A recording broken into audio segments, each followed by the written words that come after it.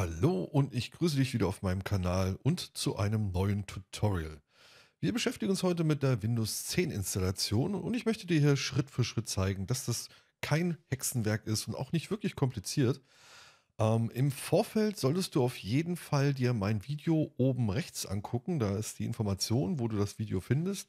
Dort zeige ich, wie du ähm, mit dem Media Creation Tool von Microsoft einen USB-Stick erstellst, damit du von ja, USB-Stick booten kannst, um Windows 10 zu installieren.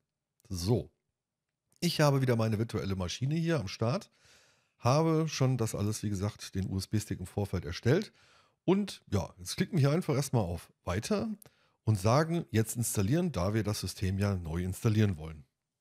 Dann dauert es einen Augenblick. Er überprüft hier noch einiges im Hintergrund. Und dann warten wir. Genau. Und jetzt musst du entweder Windows aktivieren, wenn du einen Key hast. Ich gebe jetzt hier mal an, dass ich kein Produktkey habe. Ich habe natürlich einen, aber den brauche ich jetzt erstmal für die Installation hier noch nicht eingeben. Man kann es auch später aktivieren, das ist jetzt kein Problem hier. So, ich habe keinen Produktkey. An dieser Stelle, ähm, welche Version du installieren wirst, Windows 10 Home, Education oder Pro Version. Das N bedeutet nichts anderes, dass äh, hier kein Media Player enthalten ist. Hm, das hat, glaube ich, mit einem EU-Gesetz zu tun und da musste Microsoft halt reagieren. Deswegen, wenn du die N-Option wählst, hast du automatisch kein Media Player dabei. Ich lasse das jetzt mal und nimm die Windows 10 Pro Version und sage erstmal weiter. So, jetzt kommen hier die Lizenzbedingungen. Die solltest du dir durchlesen. In der Regel macht das eh nie einer, aber du musst sie akzeptieren, sonst geht es an dieser Stelle nicht weiter. Dann klicken wir wieder auf Weiter. Und jetzt wirst du gefragt, ob du ein Upgrade Windows installieren und Dateien, Einstellungen, Anwendungen behalten möchtest oder benutzerdefinierte, nur Windows installieren. Wir machen jetzt eine benutzerdefinierte Installation. So, hier an dieser Stelle, das ist meine Platte, 200 GB und da sagen wir jetzt neu und ich nehme jetzt mal die komplette, die komplette Platte und sage einfach mal übernehmen. Ja, wir möchten alles machen, alles tun. Und jetzt erstellt Windows automatisch eine Partition, hat auch hier eine Systempartition erstellt und hier ist der Rest, den wir für unsere Windows-Installation hernehmen können. So, jetzt sage ich an der Stelle weiter und jetzt beginnt Windows die Dateien auf die Platte zu kopieren. Das Ganze kann einen ziemlichen Augenblick dauern, ein paar Minuten. Ich würde einfach sagen, ja, ich komme erst wieder, wenn die Installation, Vorbereitung fertig ist und äh, wünsche erstmal viel Spaß weiterhin bei der bei diesem Video. Und da haben wir jetzt fast alles. Jetzt ähm, läuft die Neustartzeit runter und du kannst auch jetzt, ich mache das mal, jetzt auf hier Neustart klicken und dann bootet der Rechner neu. Und drücke dann wieder, nein, das machen wir jetzt nicht, weil ist ja noch meine USB, mein USB-Stick noch drin. Ich hatte vergessen zu noch zu erwähnen, wenn du Windows 10 installierst, die 64-Bit-Version, braucht circa 20 GB Festplattenplatz. Empfohlen wird 70 GB. Ich sag mal besser 100 oder darüber, aber so 100 äh, GB solltest du schon frei haben für Windows 10. Gut, jetzt müssen wir noch einen kurzen Augenblick warten, bis Windows gestartet ist. Ich gucke jetzt mal, es dauert noch einen Augenblick.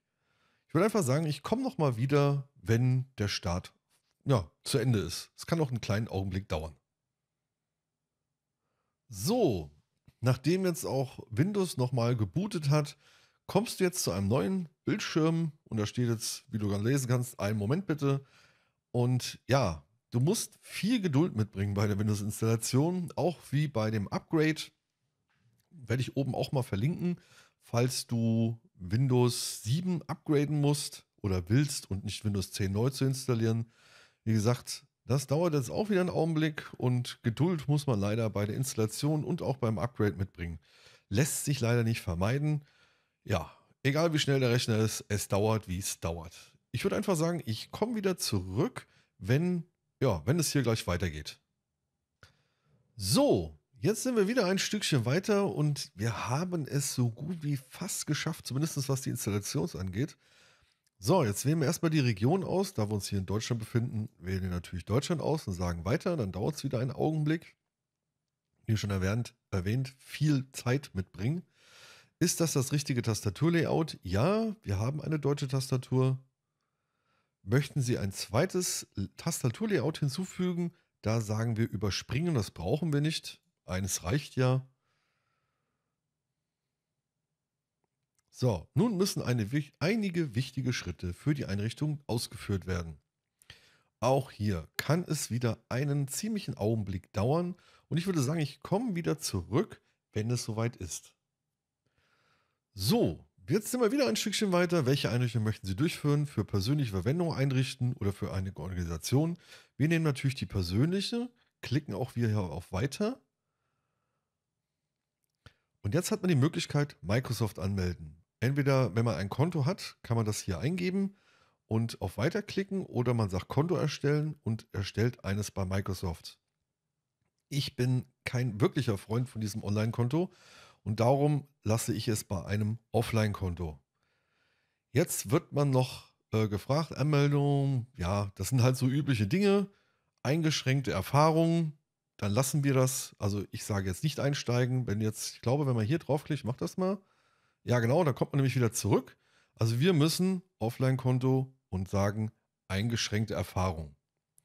Jetzt kann man dem ganzen Kind einen Namen geben. Von wem wird dieser PC genutzt? Dann nennen wir das mal Technical Doctor.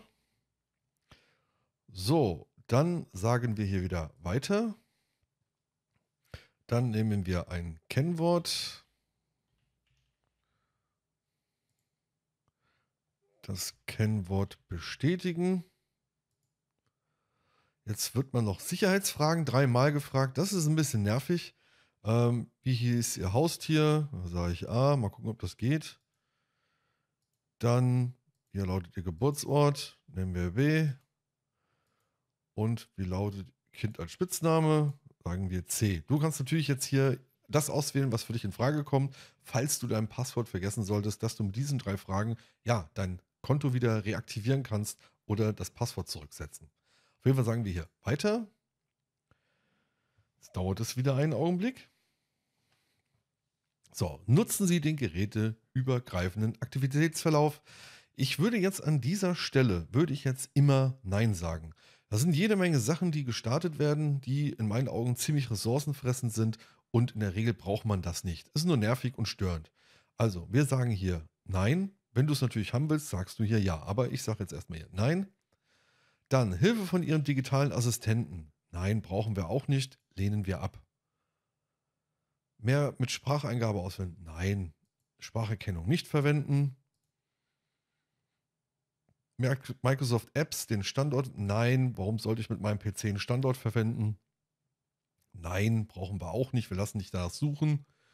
Diagnose einfach. Da kann man leider nichts anderes auswählen. Da muss man einfach nehmen. So, dann Freihand. Nein, es sei denn, du hast äh, einen Bildschirm, auf dem du halt schreiben kannst. Aber ansonsten lassen wir das hier auch. Nein, die Diagnosendaten, Tipps, das lassen wir alles weg. Apple, nein. So, jetzt dauert es wie einen Augenblick. Also ich kann, wie gesagt, nur empfehlen, hier überall Nein und Ablehnen zu machen.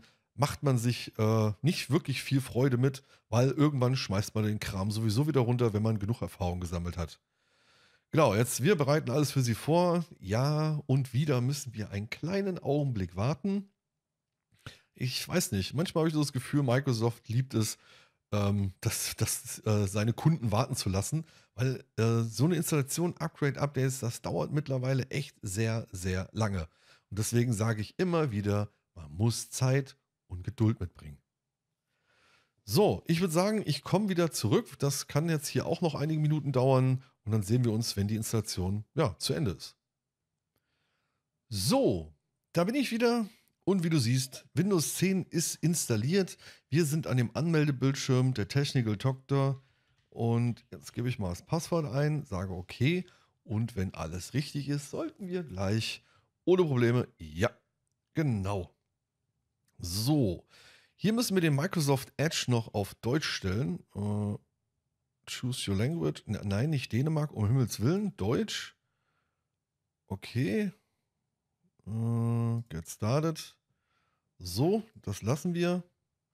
So, den Edge machen wir wieder aus. Ja, wie gesagt, an dieser Stelle alles läuft, alles funktioniert. Jetzt müsste nur noch ein Update drüber gelaufen lassen werden zur Sicherheit. Aber wie gesagt, das zeige ich mal in einem anderen Video. Ich hoffe, es hat dir wieder gefallen. Lass einen Daumen nach äh, oben da, wenn es geht. Ein Kommentar. Ich antworte auch auf Kommentare. Wenn du Fragen zur Installation hast, schreib sie einfach unten in die Kommentare. Und ja, ein Abo wäre auch nicht schlecht. Bis dahin, ciao.